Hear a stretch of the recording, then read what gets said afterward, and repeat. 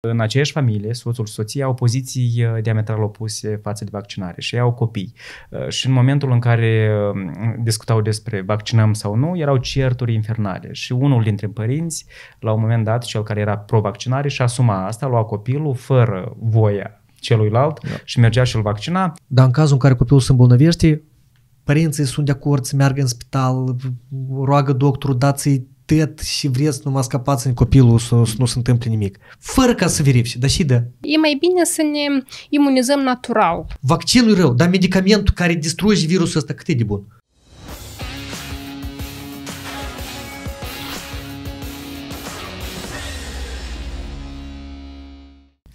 La podcastul de astăzi vorbim despre vaccinarea copiilor, iar alături de mine și sora mea Mariana este medicul pediatru Mihai Stratulat. Este un subiect controversat în societate, trebuie să recunoaștem. Da, până în ziua, până în ziua de astăzi te-ai gândit că ar trebui să, să, să mai schimbi timpurile, dar nu să mai întâlnesc părinți care refuză să-și vaccineze copiii. Noi va trebui să jucăm un pic rolurile de antivaxere, fiindcă noi, din câte înțeleg, suntem trei pro-vaccinare aici.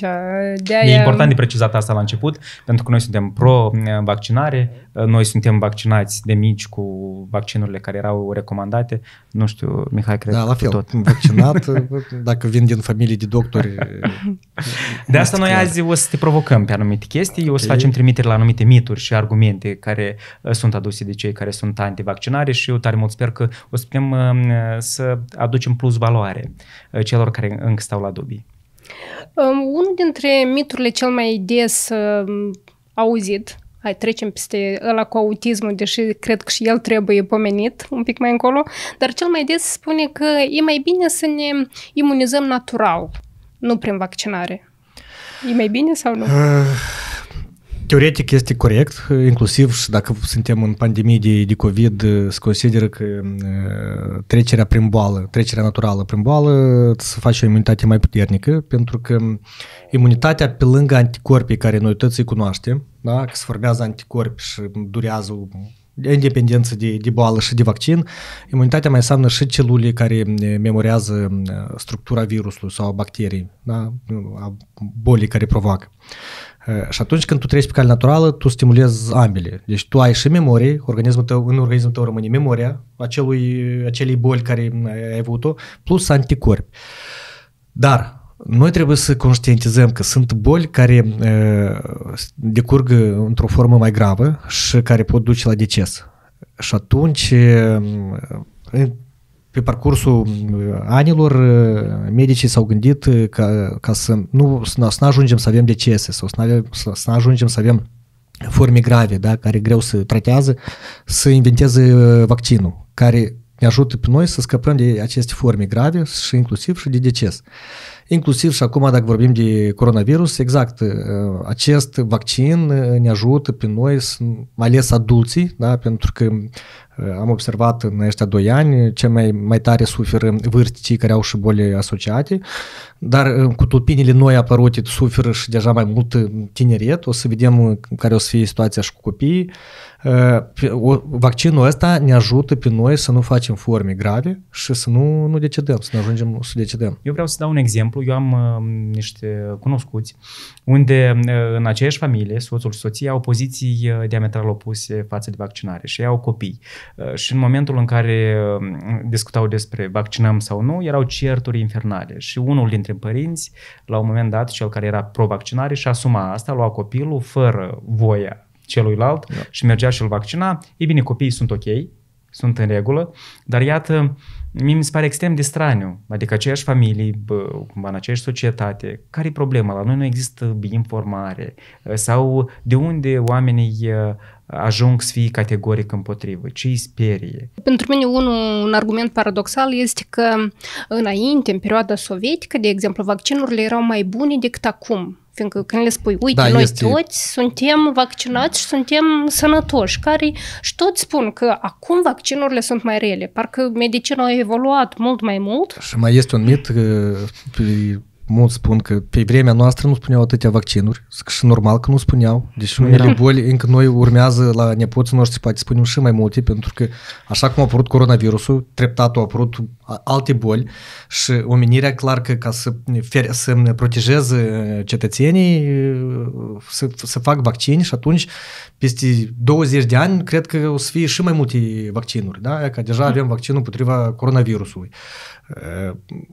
Pe vremea noastră, sigur, spuneau mai puține vaccini, erau mai puține, mai puține boli, că pe, pe timpul sovietic erau vaccinurile mai bune, nu o să fiu de acord, și o să vă dau exemplu, pe timpul sovietic spuneau, erau două feluri de vaccini, cu virus viu atenuat, deci practic îți băga virusul sau bacteria, dar atenuată, de ca să nu fie așa de agresiv, ți-l băga în organism. Acum vaccinurile au o structură cu mult mai, mai interesantă. Deja, mai sigură. Și mai sigură, sigur. Deja s-a ajuns la, să, să știe că noi formăm anticorpi atunci când celulele noastre imune găsesc antigenul, da? De obicei, antigenii sunt pe, pe suprafața virusului sau a bacteriei. Celulele noastre se apropie de bacterie sau de virusul în cauză, depistează antigenul și față de antigenul ăsta face anticorpi. Acum, vaccinurile care sunt, se ia doar un fragment din peretele acestui virus sau, sau bacterii pe care este antigenul deja. Și asta se introduce în organismul nostru. Deci mai înainte dacă se introducea virusul sau bacteria, acum se introduce doar o bucățică din peretele acestei și asta este cu mult mai, cu mult mai sigur. Da, faptul că sunt mai multe vaccinuri, din păcate, noi nu avem și lumea se dezvoltă, boli mai apar și încă o să mai apară. Eu altceva vreau să spun că noi, noi doctorii deja am uitat cum arată unele boli din, din, din trecut. Da, unii din noi, eu pot să vă spun că eu n-am văzut niciodată cum arată, de exemplu, un copil care are rubiola am văzut, n-am văzut un copil care are difterie. Deci, teoretic, eu știu ce trebuie să, mă, ce trebuie să caut, unde trebuie să mă uit, dar să am un copil, că am, deja am mai mult de 10 ani de practică, n-am avut nici un copil. Deci a dispărut boala asta dispărut datorită, datorită vaccinării. vaccinării. Da. Și Dar dacă ce noi facem? o oprim acum vaccinarea, da? există riscul și am, avem exemple prin care am trecut 2-3 ani în urmă, nu ți minte exact, 3 cred că deja, cu pandemie parcă s-a oprit uh, timpul în loc. Când am avut uh, în România, am avut uh, pandemie de rujiola, în Ucraina, au ajuns și la noi în Republica Moldova foarte mulți, uh, foarte mulți copii. Exact așa o să înceapă să apară toate înapoi dacă noi nu o să ne vaccinăm. Uite, explicația ta e destul de logică. Adică mie mi se pare argumentată. Și uh, cei care sunt pro-vaccinare citesc chiar argumentări de tipul ăsta. Dar uh, exact uh, la fel de convingător sunt și cei care sunt uh, antivaccinare. Deci ei vin cu niște argumente, studii, uh, că au fost complicații, că au fost copii care au uh, fost paralizați, au fost copii care au uh, agravat o anumită boală și tot așa. Uh, Dacă intri acolo și, și eu am ajuns la concluzia, așa analizând tot, că depinde care este poziția ta din start și ce vrei să găsești. Da, da, sigur. Găsești argumente pentru absolut orice. Dacă tu vrei să uh, te convingi că vaccinurile sunt un rău uh, și ele o să dăuneze copilului, tu intri pe internet și găsești argumente din astea foarte multe. Dacă tu vrei să fii sigur că vaccinul o să-l ajute pe copilul tău, tu o să aduci, o să găsești toate argumentele. Acum întrebarea e ce facem noi cu cei care sunt în aceeași familie și au copii și ei trebuie să iau o decizie. Ți, vouă vi se pare în general corect ca unul dintre părinți să-și asume, da? Au luat copilul și îl duce la uh, nu, vaccinare. Nu este corect. Trebuie, trebuie ambii părinți să-și asume acest lucru. Eu, de exemplu, întotdeauna încep așa discuția cu părinții care nu vor sau am avut și eu familii în care, într-adevăr, soția vrea, soțul nu categoric contra. Eu întotdeauna încep discuția așa. Zic, voi știți împotriva cărei boli noi vaccinăm copilul.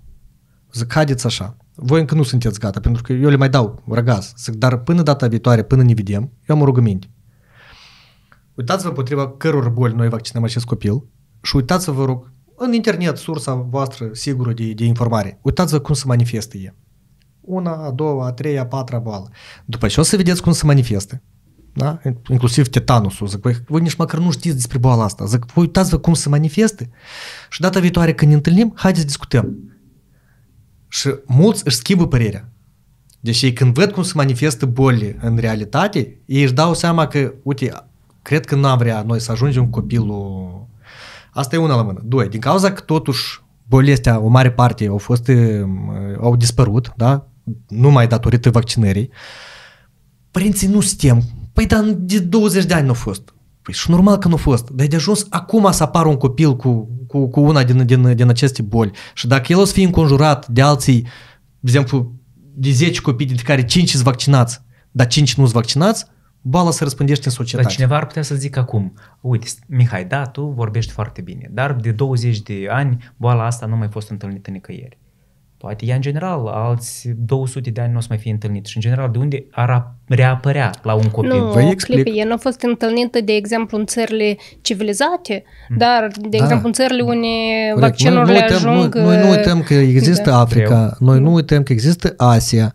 Uh, sunt țări în curs de dezvoltare, încă la noi e bine, cât de cât în comparație cu alte țări, în care igiena e precară, în care uh, vaccinuri nu știu dacă copiii ajung să se vaccineze.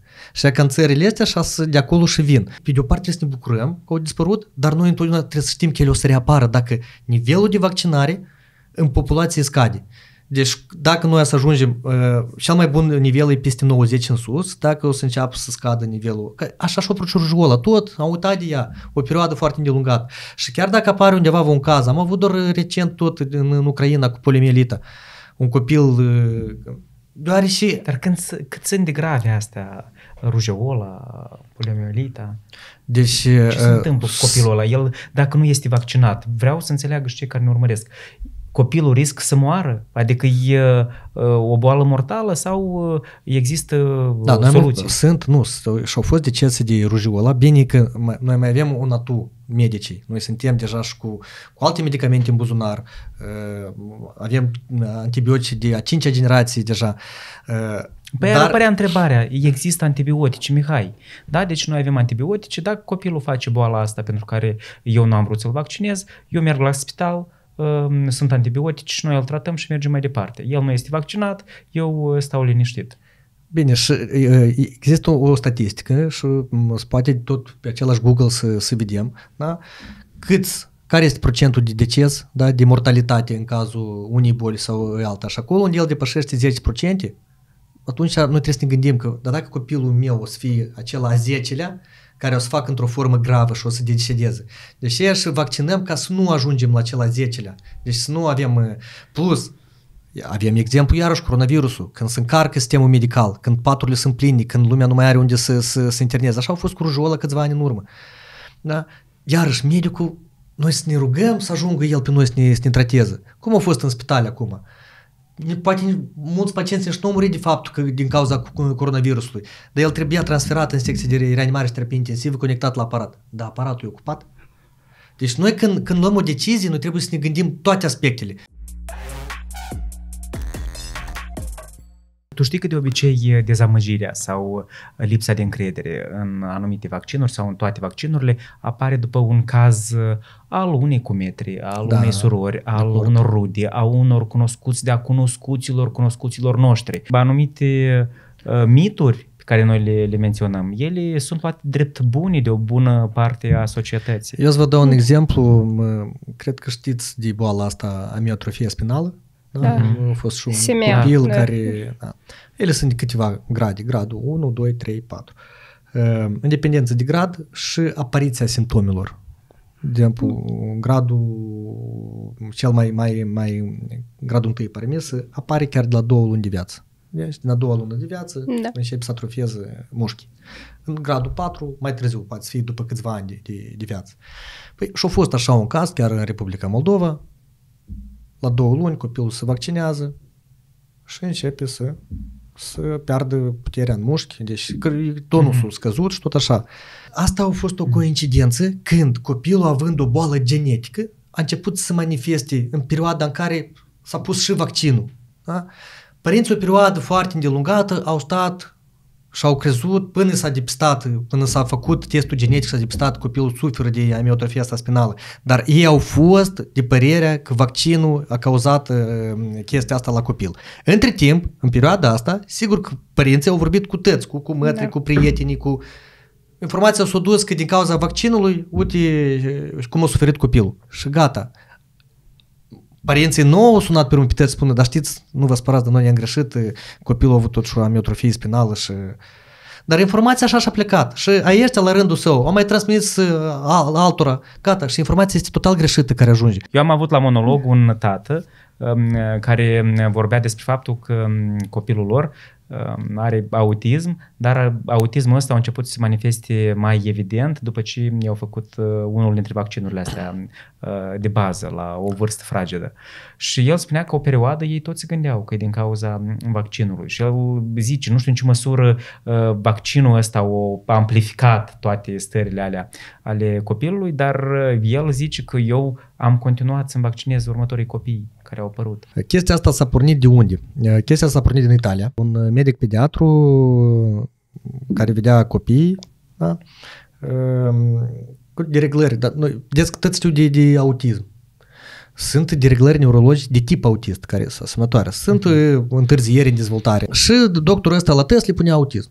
Deci a, și la un moment dat încă a, a luat și a publicat, a făcut un studiu într-un fel și a publicat în, într-o revistă de impact internațional Ulterior, deja acești părinți au început să dea în judecată compania care produce asta, a fost judecată, s-a demonstrat, deja s-au implicat și alte autorități, s-a demonstrat că nu are nicio treabă, nicio legătură.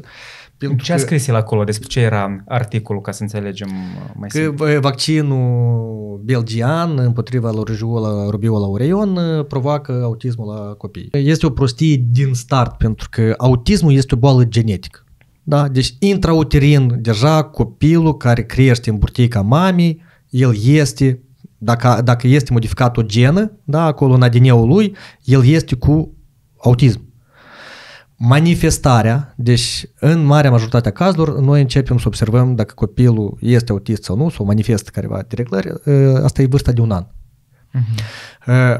Mai multe voci spuneau până acum în medicină că pentru autism este nevoie de un trigger, da, un factor declanșator. Și cumva s-a făcut asociere că ar fi poate vaccinul, triggerul ăsta care a pornit manifestările la copil. Cu toate că acum s-a demonstrat iară științific că nu este nevoie niciun trigger. La vârsta de un an copii, în primul rând, ei se dezvoltă, adică pot să fac mai multe chestii și atunci noi începem să observăm. Dar diagnoza finală spune la 3 ani. Indiferent este vaccinat copilul, va fi vaccinat sau nu copilul dacă este născut autist, el este născut autist. Da, eu avem, um, știam un caz, uh, copil uh, chiar la trei ani s-a pus diagnoza de autism, dar îmi povestea o rudă apropiată de a copilului că când a observat ei toată situația asta, a fost exact în ziua când copilul a fost botezat. Atunci um, lui a intrat apă în urechiuș, el s-a speriat, a făcut criză, au urmat crizele în noaptea aceea și cam după acea zi au început să observe că copilul perdea um, anumite reflexe care deja le avea. Uh, și eu, discutând cu ea, spuneam zic, că ies cum unii afirmă că vaccinul duce la autism, noi putem, după cazul ăsta, afirma că botezul, că botezul duce preot, la autism. Preot. Care tot e o mare prostie. Eu vreau să discutăm încă despre un aspect uh, sau un argument pe care eu îl aud destul de des de la cei care sunt împotriva vaccinurilor. Astea cu care noi ne-am obișnuit și pe care mulți dintre noi uh, le avem.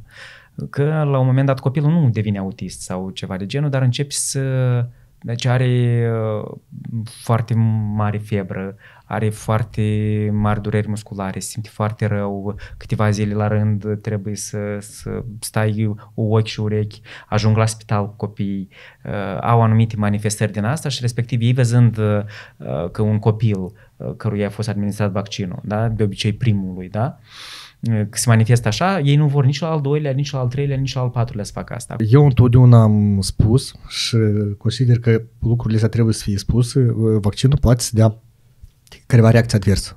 Deci este absolut normal asta să întâmple. Și e, sunt studii care demonstrează că acele reacții adverse care copilul le manifestă în urma vaccinării, da? Dacă copilul s-ar fi îmbolnăvit de această boală, reacția este adversă avea să se manifeste ca complicații. Și incidența e de 10 ori mai mare. Adică, mesajul către părinți, dacă voi vă temeți, de exemplu, că în urma vaccinului copilul o să dezvolte o reacție adversă din partea sistemului neurologic, păi să fiți siguri că în cazul în care copilul o să îmbolnăvească de boala împotriva căruia noi am vrut să punem vaccinul, o să-i dea ca complicații anume dereglarea asta neurologică sau... Dar părintele poate să aibă siguranța că um, copilul lui nici nu știu, nu va face reacțiile astea adverse? Adică este vreun uh, test care poate spun. fi efectuat înainte nu, de vaccin? Din păcate nu. Uh, din păcate nu putem să facem niciun test. Noi nu știm cum o să reacționeze. Uh, părinții trebuie să, să înțeleagă. Problema nu este în vaccin. Da? Pentru că, haideți să luăm, vă dau un exemplu iarăși, pe înțelesul părinților. Noi avem 10 copii. Noi vaccinăm cu același vaccin pe toți 10. 9 din ei nu o să facă nicio reacție, da, poate o febră ușoară. A 10 poate să facă o reacție mai, mai, mai agresivă. Păi, întrebarea, este vinovat vaccinul sau este, sau este problema în răspunsul imun al copilului față de, de, de vaccin? Păi da, dar aici ar veni argumentul părinților care sunt împotriva vaccinării, care ar spune că eu dacă nu fac vaccinul ăsta, nu apare reacție adversă și sunt șanse foarte mari că el în general nu va interacționa cu boala asta pe parcursul vieții. Și... Păi dar de unde mama poate știe că boala asta peste 2 ani nu o să, o să apară? Exact. Cine, cine vreodată s-a gândit că noi să avem așa pandemii?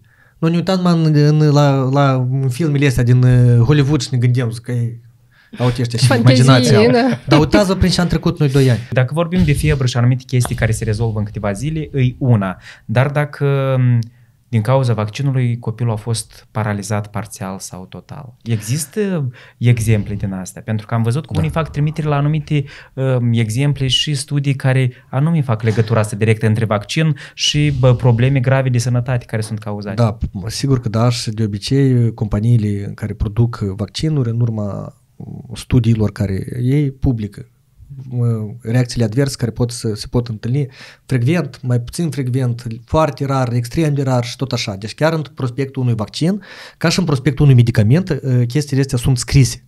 Da? Ideea alta, uh, știți cum la noi, noi dacă nu, nu avem, nu ne temem, da? Dar în cazul în care copilul se îmbolnăvește, părinții sunt de acord să meargă în spital, roagă doctorul, dați-i tăt și vreți numai scapați în copilul să, să nu se întâmple nimic. Fără ca să verifice, dar și da. Dar și reacția adversă are medicamentul X, Y sau Z. Eu ziceam de chiar și în, în coronavirus. Zic, voi când ați ajunge în spatul, când ați fiți în formă gravă, în secție de reanimare și terapie intensivă, voi să întrebați și, și medicament vă pune? Dar cum credeți?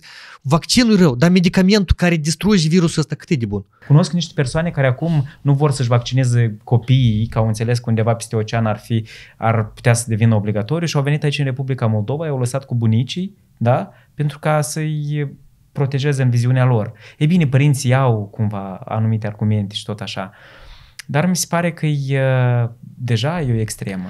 E o extremă și, vedeți, eu din experiență vă spun cum își schimbă părerea în momentul în care ai același, cum spune în rusă, cocliuș, da, sau tu să măgărească, tu să convulsivă.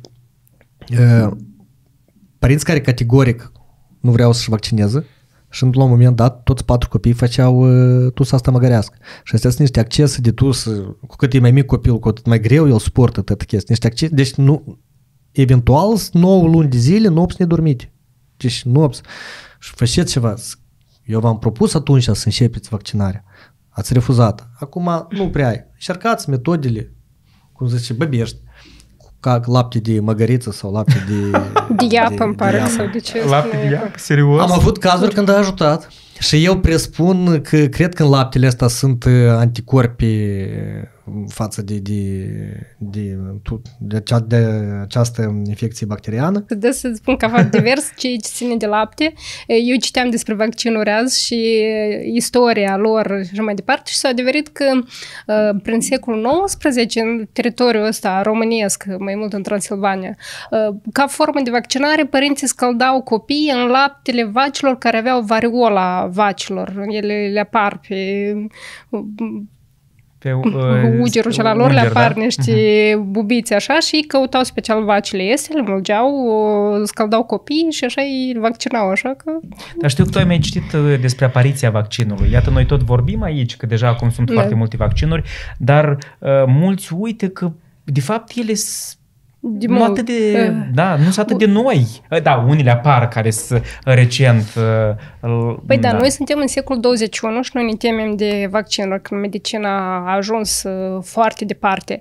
Dar eu citeam cum uh, erau primele vaccinări, asta în anul 1500, înainte ierii noastre, asta, oh, oh, oh, oh, oh, um, cum le apăreau bubițele cele de la variolă, un, un medic era, el extragea lichid din acea bubiță, dar le căuta, adică la dânsi erau numite bubi rele și bubi bune. Îi căutau uh-huh. care sunt mai slăbuțe, aveau logic, adică da, când stai deci, și te gândești, luau lichid și făceau o rană unui om, pacient de acolo și puneau în rană acela. Adică noi acum ne temem să ne punem un vaccin care are o mică proteină a virusului, dar ei își puneau virus viu. Da, da acolo. da. Și era, este o metodă de, de vaccinare, că organismul nostru vede un, un organism străin și începe să formeze anticorpi către... Um, la noi, um, în primul rând, lumea, pe timpul Uniunii Sovietice nu se mai întreba. Test la vaccin am mers drujna, ne-am dus, ne-am vaccinat. Acum, deoarece chiar și la începutul accesul... anilor 90, eu mi-amintesc pe noi tot așa ne organizau. Deci noi mergeam la școală, spuneau cazi uh, sau de cozi înainte. Că Nici măcar nu la medic, dar la școală nu era ideea vaccina. părinții să întrebe voi vreți sau nu vreți acolo, deci efectiv toată lumea mergea. Acum uh, înțeleg că nu se întâmplă Acum, așa, pur și simplu, au apărut uh, persoane da, care au decis pe, pe sama la astfel de, de, de familii să facă bani. Da, eu mâine dacă îmi schimb părerea și încep să scriu o carte cât e de... Și eu pot să... Ori și pot să argumentez, da? Și să bagi acolo tot felul de, de teorii. Eu cartea și să o vând ca pâinea caldă și o să mă fac de, de, din start uh, cu mulți bani. Uh, și pe, pe chestia asta foarte, foarte mulți din ăștia și mizează. Eu am încercat, tot încercau pe mine unii pacienți să mă convingă, trimiteau video, trimiteau uh, tot felul de... și mă uitam că ea ca persoana X a lucrat într-un laborator în care se face vaccini și e că el ne scrie cât e de... Zic, bine, da, zic, cineva din voi, CV-ul la persoana asta ați văzut? El și-a lucrat acolo. Zic, da, poate el ducea corespondența de la un etaj la altul și la un moment dat s-a gândit, e, ia da eu scriu că am, am lucrat aici, dar el într-adevăr a lucrat, nimeni nu, nu neagă și da eu să încep să fac tot felul de teorii despre, despre vaccin. Cei Noi... care ne privesc acum o să zic, uite Mihai, da, poate în cazul ăsta e așa, dar sunt cu siguranță specialiști da, buni, care într-adevăr medici cu studii, care au luat partea cealaltă. Adică ei aduc argumente că anumite vaccinuri sau în general vaccinarea copiilor uh, prezintă mai multe pericole. Tu știi vreunul? Păi eu nu le știu numele, dar iarăși eu, dar eu acum când documentându-mă, un documentându-mă cineva... Bun niciodată nu se poate să spună acest lucru. Un medic că, bun. Pentru că vaccinul vaccinul a fost inventat ca noi să, în primul rând, toate bolile, dar de ce au dispărut boli? Așa de rău de rele vaccinele astea, dar noi boli, sunt boli care nu mai... Noi, și mulți nu știu, eu tot n-am văzut nici un, nici un adult uh, care să aibă uh, meningită tuberculoasă. Dar cândva, pe timpul Unii Sovietice, în fiecare stal de boli infecțioase era secție aparte de meningită tuberculoasă. Dacă să întrebăm infecționiștii care sunt mai, mai în vârstă, eu să vă spun, rata de deces era foarte mare. Deși a dispărut, de atât că s-a introdus vaccinul împotriva tuberculozei. E clar că el pe noi nu o să ne apere 100%, dar pe noi acum să luăm test cetățenii și ne ducem să ne verificăm, noi test deja am fost minimum o dată în viața noastră în contact cu un bolnav de tuberculoză. Un mit care mi-a părut ciudățel așa că noi supra-solicităm imunitatea copilului. Imunitatea poate fi supra-solicitată din punctul meu de vedere. mai multe vaccinuri. Uh, da, vaccinuri și încă de astea cu mai multe valențe, adică un vaccin pentru mai multe boli. Uh-huh. Dar um, eu din ce citeam, fiindcă îmi plac temele medicale, era cât mai des noi ne, um, cum, ne confruntăm cu o boală sau ceva, cu atât mai mult imunitatea noastră se întărește. Adică avem tot mai mulți soldăței care luptă cu această boală. Respectiv, vaccinurile ne întăresc. Noi avem un soldat acolo puternic Asta în interior. tu consider, dar iată să vedem... Haideți, în general, da, eu tot încep să vorbesc cu, cu, cu părinții să întreb ce înseamnă imunitate. Că imunitate, asta în primul rând înseamnă anticorpi. Cum poate organismul nostru să formeze anticorpi? Prin două metode. Prin trei, haideți să să. O metodă asta prin laptele matern, mama îi transmite anticorpi bebelușului în primele șase luni de, de, de viață. Și dacă să întrebați multă lume, o să vedeți că copiii în primele șase luni de viață nu prea bolesc. Pentru că ei sunt protejați de anticorpi pe care mama i-a produs toată viața ei, contactând cu tot felul de boli, da? i-a produs și acum i-a transferat bebelușul. Aproximativ la vârsta de șase luni, nivelul de anticorpi scade. Da, la, la un asta. Și noi să observăm că în momentul ăsta copilul începe să răcească mai des, da? să hață virozele care, care sunt. Deci asta e o metodă. Altă metodă este te îmbolnăvești. Am luat gripa, am făcut anticorp. Am luat uh, altă viroză, enteroviroză. Hai că la enteroviroză anticorp nu se fac și poți să faci vomă și diaree de, fică, de câteva ori pe, pe an. Uh, oricare alte, alte virusuri sau alte infecții bacteriene, noi formăm anticorpi. Deci noi trebuie să contactăm cu boala asta. Că și a treia metodă de a forma anticorp, asta e vaccinarea. Gata. Deci altfel imunitate noi nu avem. Păi și iată dacă revenim la mitul ăsta. Deci în ce măsură um, vaccinurile pot supra-solicita Dar eu nu, nu, eu nu înțeleg în general ce înseamnă supra-solicitarea sistemului imun. Eu că eu stau și mă gândesc, încerc eu să mă gândesc și ce șar însemna asta. Nu știu dacă mai avem mituri, ca să încheiem cu miturile.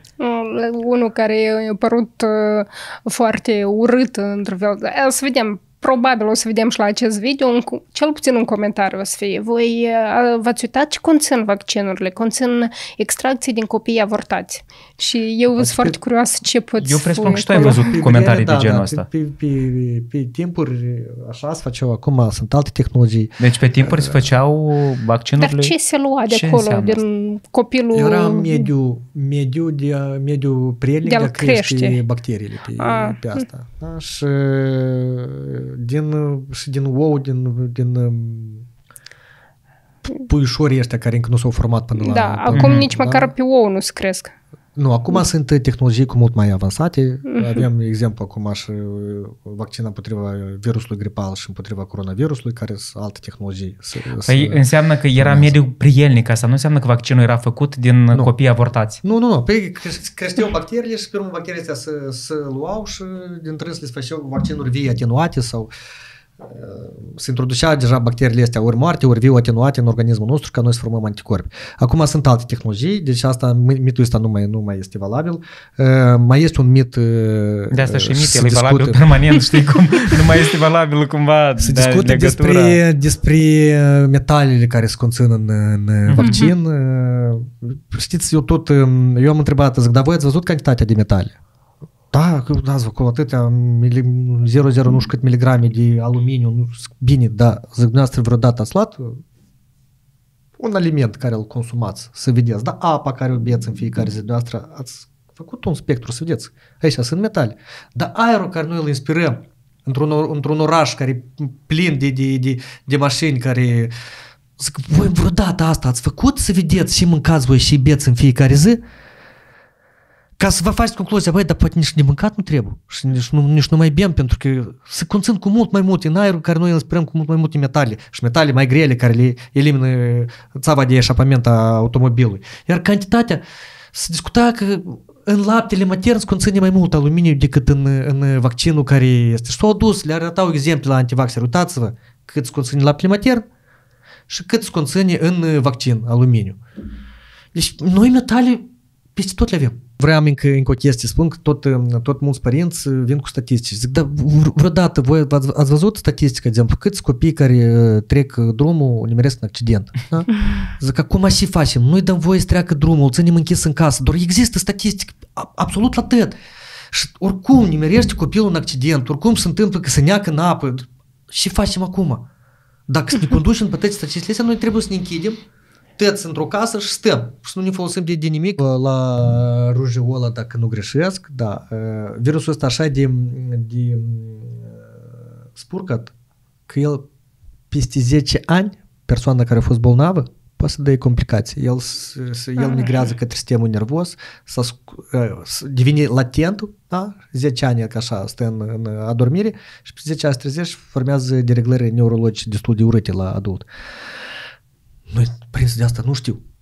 Eu crezut că dacă a scăpat, gata. Dacă copilul cumva a fost bolnav și a scăpat, nu. Consecințele încă nu putem să le vedem mai târziu. Dar eu voiam să menționez, iată, în special a apărut de când cu vaccinul ăsta COVID un uh, mit, să zicem așa, că, iată, vor să ne omoare cu acest vaccin, că organele noastre o să fie distruse și eu când vorbeam cu cineva așa care, nu antivaxer, dar auzea toate nebunile astea și eu spuneam, dar care e sensul să uh, stai, să investești în vaccin, să convingi oamenii ăștia foarte adulți care ei se consideră uh, instruiți, se convinge și ei nu vor să-și pună vaccinul și să aștepți 2 ani ca ei să moară. Pune o travă în apă a să moară imediat. Mai fă un coronavirus și nu fă vaccinul. Gata. Și mm. fă un virus mai agresiv și e rărit cu mult mai repede. În jumătate de an au plecat jumate din populație. Tot se discutau că, dar nu, că el încă nu e, nu e vaccin, el încă e ser.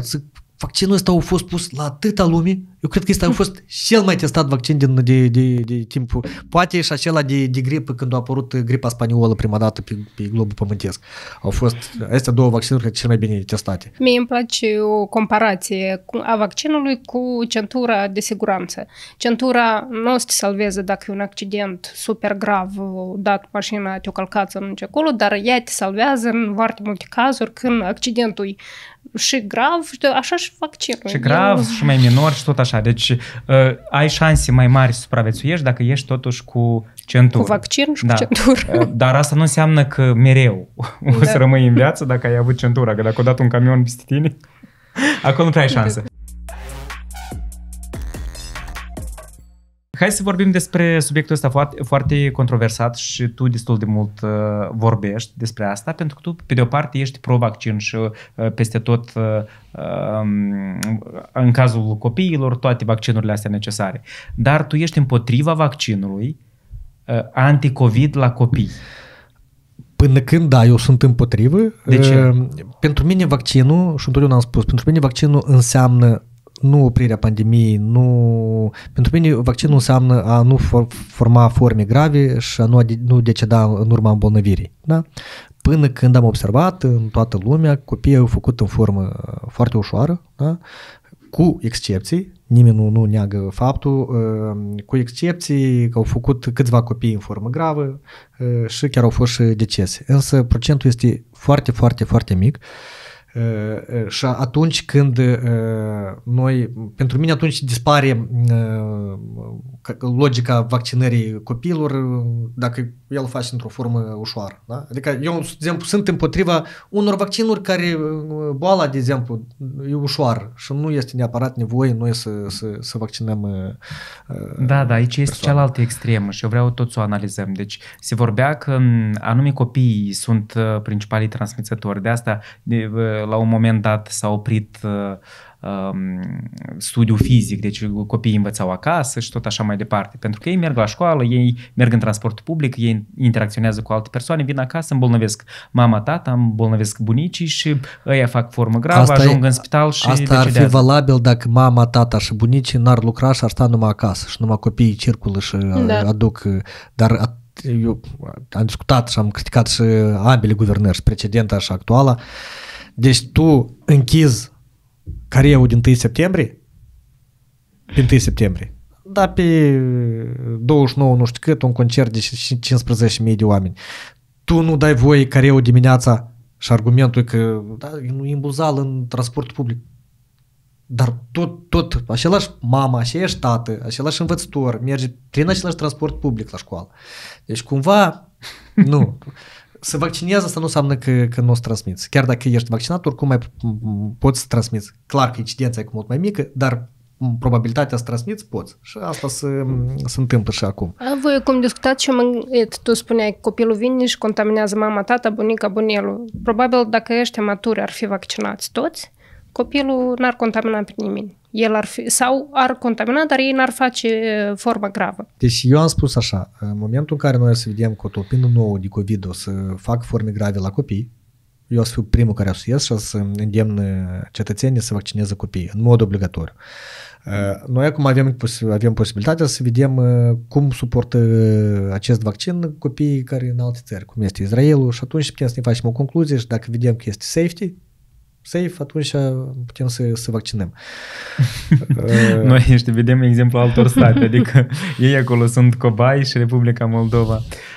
Da, dar pe de altă parte, exemplu personal, adică toți așteaptă cumva să vadă, hai eu să aștept 2 ani și o să văd ce o să se întâmplă cei care s-au vaccinat. Da, Mi se pare că dacă toți ar avea poziția asta, de ce nu, nu mai vezi la nimeni, da, exemplu, dacă toți ar sta și ar, și ar aștepta. Trebuia să pornim să-i convingem mai întâi pe vârstnici să vaccineze, da, și să le arătăm prin exemple că, uite, de la 65 de ani riscul de a face formă gravă e 90%, de, de, de, de a deceda e de 70%, da, de explicat că și n-ați face oricum la un moment dat, mai devreme sau mai târziu voi să vă îmbolnăviți de COVID.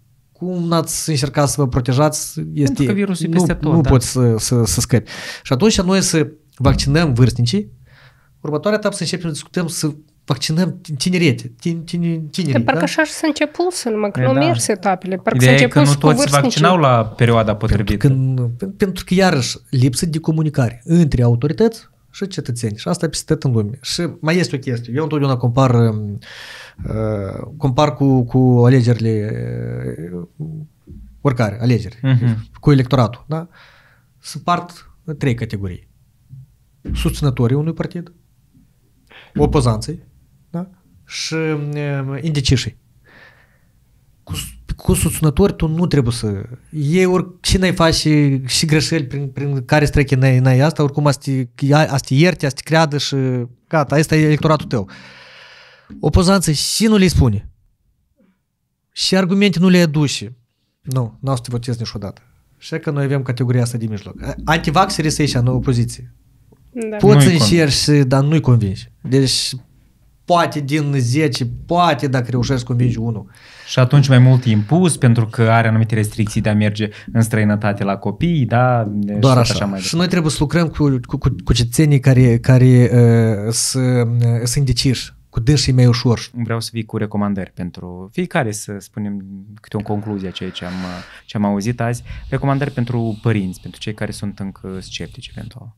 Deci eu, în primul rând, exact cum fac și în cabinet la mine, uh, rog părinții care să se gândesc dacă să vaccineze sau să nu vaccineze copiii. Mai întâi, pe lângă argumentele care le-au văzut ei nu știu unde, că vaccinarea nu este bună, să vadă, în primul rând, să, să iau pe un pic și o foaie și scrie bolile, da? potriva căruia copilul urmează să fie...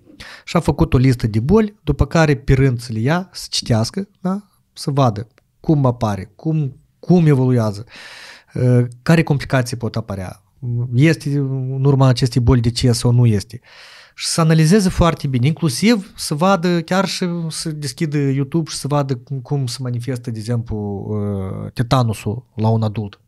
E strașnic, imagini nu tare frumoasă.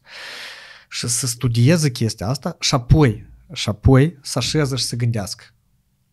Trebuie să scoată din cap că acum, ei, dacă nu avem boala asta, acum nu are rost de vaccinat. Nu, pentru că e așa se gândește, o altă mamă așa se gândește. Copiii nu se vaccinează. Dacă scade nivelul de nevaccinare în, în rândul populației, dacă să apară de undeva, dar ele periodic vin, nu, nici, poate nici nu știm de dânsele, pentru că ele nu se răspândesc. Un caz acolo, un caz acolo, care... Și în cazul în care noi o să refuzăm vaccinarea și o scadă nivelul de, de asta, toate bolile o să reîntoarcă. Una la mână, doi. Părinții trebuie să cunoască că doctorii de amu încolo inclusiv eu recunosc că eu unele drânsele nu știu cum arată. Nu le-am văzut niciodată, n-am avut un pacient cu asta. Teoretic da, dar până, până să ne ajungă în ea ideea, dar, dar poate e boala asta, o să dureze. Și asta iarăși e timp pierdut pe care noi nu trebuie să... Reacții adverse, sigur că sunt. Reacții, tot aceste reacții în cazul în care copilul o să îmbolnăvească. Cel mai probabil că el o să le facă în formă de complicații. Nu, cel mai probabil, da, sunt studii care demonstrează că incidența crește de 10 ori mai mare. Noi trebuie să știm că sunt reacții care durează și peste ani de, de, de vreme. Deci noi, după ce ne informăm corect din ambele maluri, da, de pe ambele câmp, atunci să, să iau decizie dacă se merge sau nu.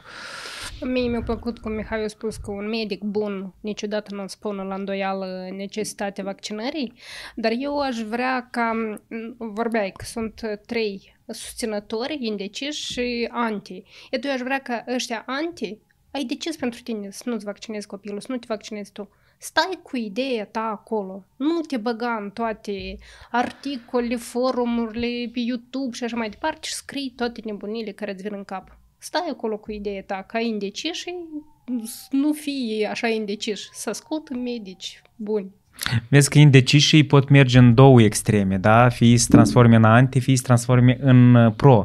Și mie mi se pare extrem de, de important ca argumentele pro să fie plauzibile și indecișii să meargă având argumente. Eu nu văd o problemă ca cei care sunt anti să vină să menționeze anumite chestii, dar tu nu te împiedică nimic. Intră, acolo citește și de obicei tu vezi ce medici recomandă vaccinarea, ce medici recomandă nevaccinarea, faci concluzii, cum zicea și Mihai, vezi care sunt riscurile dacă nu-ți vaccinezi și eu pur și simplu zic ca fiecare să documenteze mai mult. Să nu ajung uh, la medic și eu nu vreau să-l vaccinez, dar la întrebare de ce, uh, ridici din numeri. Pentru mie că așa fac mulți. Da, mie mi-a plăcut uh, cum a te răspuns odată doctor Kamarovski, toți cred că îl cunosc, unii mame, tot discuția despre vaccine. Și el a întrebat-o pe mamă, noastră ați văzut vreodată, ați avut vreodată să țineți un copil în brațe bolnav de difterie și el în 10 minute să moară în brațele voastre. Ați avut?